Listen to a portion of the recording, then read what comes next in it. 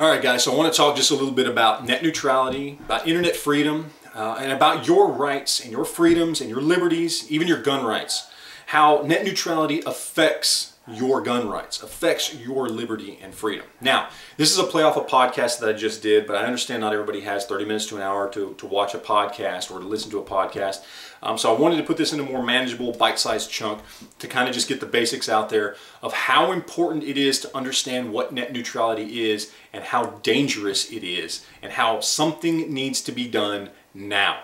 Okay, if you don't know what net neutrality is, here's the basics. It is essentially the regulation of the internet by the government, by the federal government, via the FCC. They essentially want to turn the internet into another public utility, just like they did with the radio waves, like they do with the over-the-air broadcasts on television, um, you know, like they did uh, at one point with the telephone lines. Okay, they want to turn it into a public utility that they control and they regulate.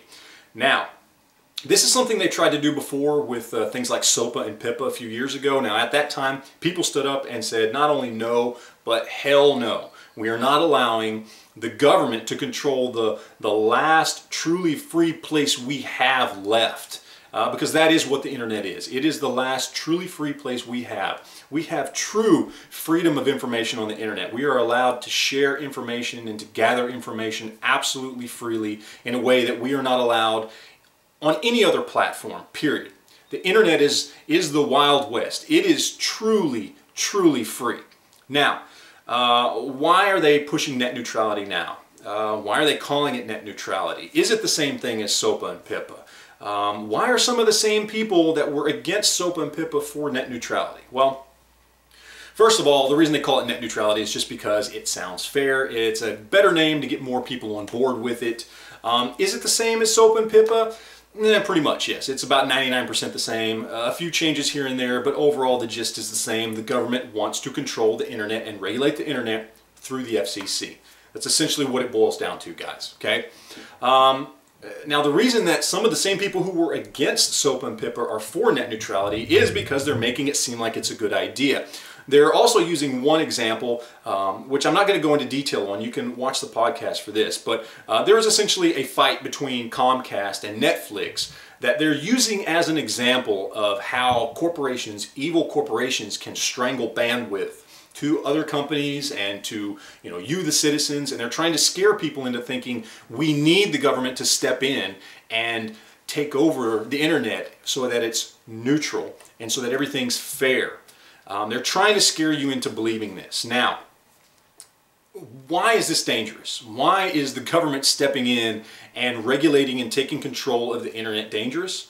Hopefully you know this already, but if you don't, imagine a world where you're like me, where you get up every day and you like to check the internet, whether it's blogs or, or websites or YouTube or forums or whatever it is, to find out what's going on in the world. And like me, you care about your rights, your freedoms, your gun rights. You like to know when the ATF is trying to ban ammunition or trying to say that a SIG brace is illegal because you hold it a certain way. Let's say you're like me, you like to know those things. Now imagine you live in the world where the very government who you go to the internet to check up on controls the internet. They control the information source. Do you think you're going to get good information? Do you think you're going to be kept aware on a daily basis of what's going on, what the government's really doing? Or do you think you're not going to find out about things until it's too late and things are past?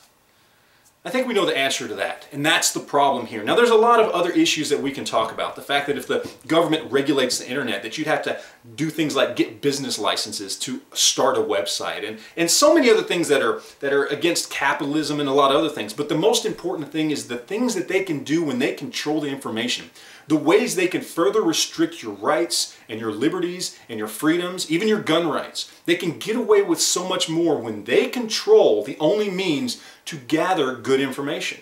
They can get away with almost anything they want. That's why I truly believe that this is one of the biggest attacks on our rights and our liberties and our freedoms that we have seen in a long time and you have to do something about it now because I'm going to tell you what, coming up on the 26th, okay, that's just a few days from now, Okay? They are planning to vote in a committee on whether or not to send this to the House floor. Okay? Now, there are a lot of people, both Republican and Democrat, who want to see net neutrality go through. We need to stop them now. Okay? This is something that if it goes to the Senate, it will pass, and if it goes through the Senate to Obama's desk, he will sign it. Many, many people in government on both sides want more control of the internet for their own purposes. The 26th is our cutoff date. Talk to your congressman. Email, write, send letters, send faxes, make phone calls. I don't care. Let them know, not only know, but hell no. Make videos, post on your blog, do whatever you need to do. You need to spread this information because I am surprised by how little I'm hearing about this when it is such a big deal. So there you go, guys. There's the, the abbreviated version of all this. Watch the podcast if you want to hear more about it. But uh, please make your voices heard. We have to stop this now. This is important. So there you go, guys. I appreciate you watching. Questions, comments, all that good stuff, leave it down below, and we will talk to you guys later. Thanks.